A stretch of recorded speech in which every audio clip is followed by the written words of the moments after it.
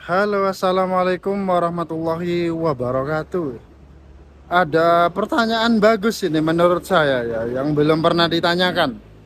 Halo Mas, gimana caranya kita tahu kalau spring bed yang kita beli bukan barang display toko? Ya, gimana cara kita mengetahui kalau kita ini, wah ternyata saya beli barang display loh ya. Kan gimana caranya ini yang ditanyakan? Yang dipajang di sebelah sini. Sebenarnya saya punya display ya. Saya punya display.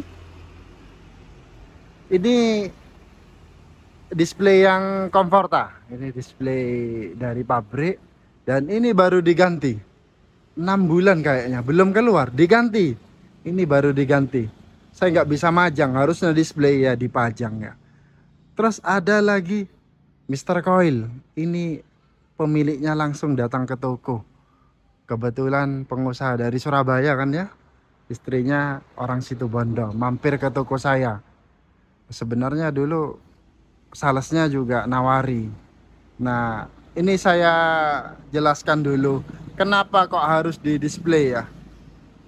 Display ini ada dua, permintaan toko dan permintaan marketing ya, supaya Nah,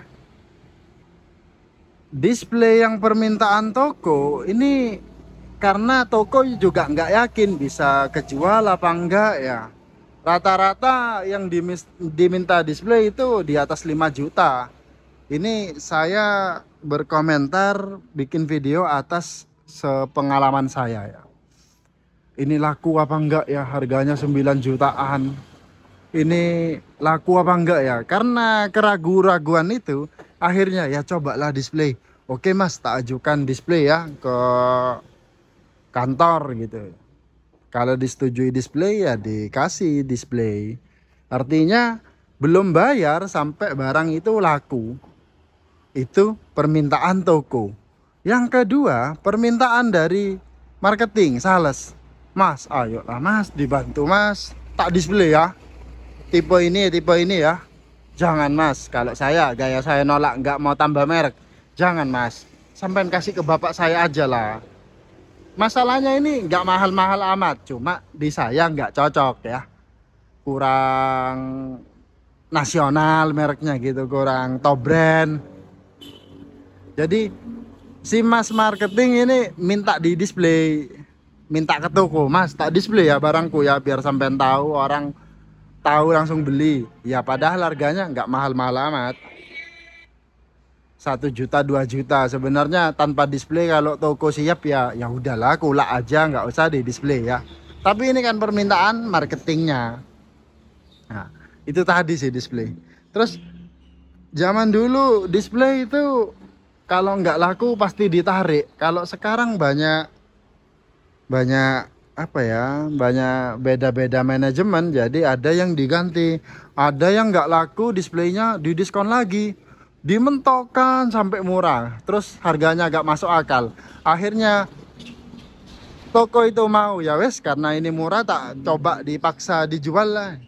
Dipaksa dijual katanya tapi ikut harganya yang kemarin bukan yang di diskon habis itu tadi.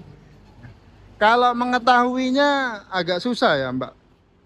Jadi keluarganya elit itu nyantumkan kode produksi. Ada kode produksi tanggal berapa berapa gitu. Jadi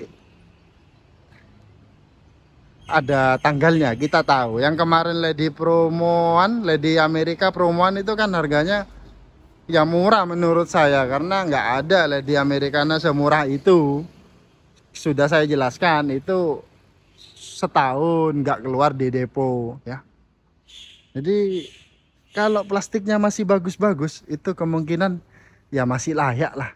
Kecuali di toko saya berdebu Agustus kering. Pantura ini kemarau masuk kemarau lah ya. yang jelas barang yang saya pajang jangan sampai kena matahari.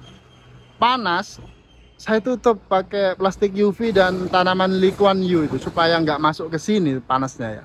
Alhamdulillah sekarang mataharinya pas di tengah. Kalau ada di utara ini bisa panas gitu loh bahaya kalau spon kena panas kan ya bisa rusak. Udah paham ya? Kalau di sini kan ada ini. Ini saya datangkan tanggal berapa sih? 15 Juli 2023 berarti baru. Meskipun lapisannya ini kan tidak sebening yang Mika ini padahal satu pabrik mas. Kenapa? Ya urusannya pabrik lah. Yang jelas ini kalau bongkaran di truk panas kelet yang ini licin enak gampang mudah ya. Karena kalau ceket waktu tidur susah ngangkatnya. Itu pembeda aja. Yang Guhdo premium premium dua lapis plastiknya. Jadi ini yang dari permintaan saya Komforta. Itu yang permintaan marketing. Sudah waktu datang itu saya nolak sebenarnya ya tapi bosnya minta di display saya infokan ke salesnya mas tarik lagi aja ya. Se sebenarnya kan saya nggak mau jual cuma bosnya maksa. Ini belum ditarik tarik belum ditarik ke pabriknya ya. Ya itu aja. Mungkin saya setahun itu kalau nggak keluar udah pusing gimana caranya ya. Apalagi spon kalau nggak keluar ini pasti sobek-sobek plastik mikanya. Karena kalau spon lebih tipis lagi ya dianggapnya spon enteng gitu tidak kira sobek. Tapi kalau lama nggak keluar ya pasti sobek. Panas di saya belum ada siklonnya ya. Saya mau pasang siklon takut airnya masuk nggak tahu juga saya. Alhamdulillah masih berdebu. Mudah-mudahan bisa semoga bisa membantu. Tapi takut sakit hati nanti ditanya ini display apa bukan? Ya kalau barangnya mahal itu kan display ya umum. Tapi kalau yang satu juta dua jutaan kemungkinan nggak ada display kecuali yang merek baru ya. Terima kasih. Wassalamualaikum warahmatullahi wabarakatuh. Sementara videonya itu ya part satu ya. Display dari permintaan toko dan dari permintaan marketing atau sales ya. Yang part 2 insya Allah saya jelaskan apa yang pernah Mas David display, harga berapa. Terus kalau display ini nggak laku, larinya ke mana? Di pabrik itu bagaimana display ini? Nanti itu bakal jadi clearance sale ya. Di akhir tahun nanti biasanya November Desember itu harus keluar clearance sale. Nanti dijelaskan part 2